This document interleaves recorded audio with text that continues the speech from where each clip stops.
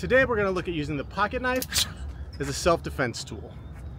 By far the best option for an everyday carry pocket knife for self-defense is one that has a wave feature on the back of it. The wave is this hook on the back of the blade that's designed to catch on the pocket as you draw it to automatically deploy the blade. Most wave knives will come with a hook installed on this side. It's designed to be drawn into a hammer grip in this manner. I dislike this for two reasons. The first is my preferred grip is a point down grip. The point down grip lends itself to attacking the eyes, throat, and chest. The other reason I dislike having the clip on this side is when I draw, I'm pulling my knife away from the fight before I put it into the fight. I'm drawing back and then I have to move forward. If I reverse the clip, as I've done here, this allows me to draw into a point down grip, but it also lets me draw moving forward so I can put the knife into the fight immediately. I can draw and attack all in one motion. For the draw, three fingers along the clip, thumb is on the inside. I'm twisting the knife away from myself slightly and drawing the blade forward so it lands in my palm. What I don't want to do is draw it where it's dangling from my fingertips because if my hand gets hit in this moment, I'm going to lose the weapon. So as I draw, I'm pushing it forward so it lands in my palm here. So the first option we're going to look at is drawing and shooting straight in here with a reinforced stab in this manner to create distance. So as I do this, I'm drawing, chambering here in front of my sternum, and then pushing straight forward to move the opponent away from me. Here. The next option is coming up and attacking the eye directly.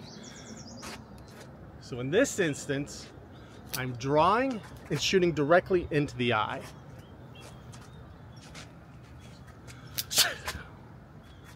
If I'm close to the opponent, the best option is going to be going directly into the body here.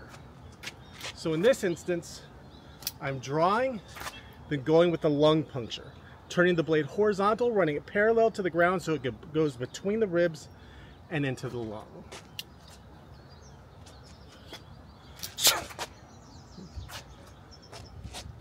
Concept that stems from the Japanese art of sword drawing, Iaido, is being able to attack in different directions.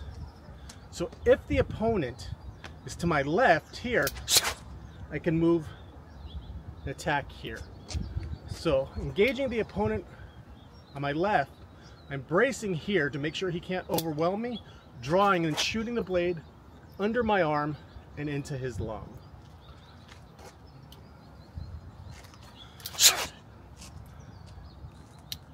This is safe because my body is between the opponent and my blade, so my blade's not going to be trapped.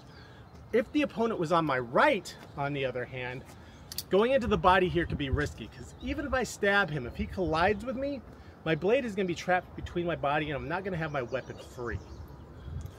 So when engaging the opponent to my right, I'm going to want to give a little bit of ground and shoot the blade up high here. Shooting the blade up high means if he moves into me, I can bring my blade up and still keep the knife in play. So here, I'm shooting in this way. One thing you have to be aware of when using the wave feature is if you get a failed deployment. If you practice regularly and use a knife that has a good big wave on it, it's going to minimize the risk of this happening, but it's still a possibility. So if you draw and don't get a deployment, in this case, you would use the pocket knife as a palm stick, striking any bony area, going into the orbital bone around the eye, the crown of the head, the temple, nose, collarbone, looking for an opening. When I strike here and I create an opening, I'm going to grab the bottom of my shirt, use the wave and draw the blade up here. So I would strike, boom, grab my shirt, pop it up, and continue my attack with the blade out. So I'm pulling the shirt tight, bringing it up. Here, and striking.